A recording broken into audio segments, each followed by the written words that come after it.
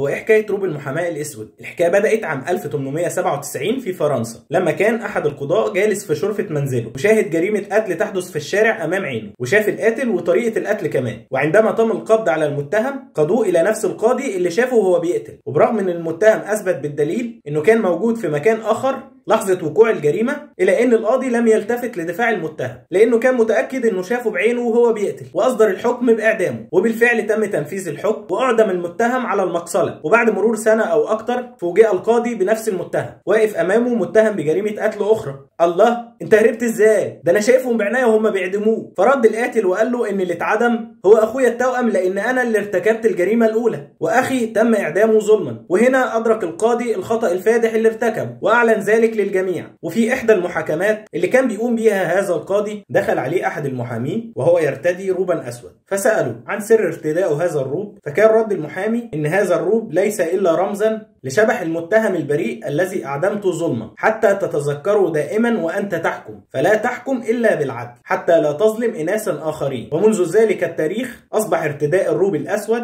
تقليدا عاما عند المحامين وتذكيرا للقضاة بزميلهم الذي أخطأ حتى لا يقعوا فيما وقع فيه زميلهم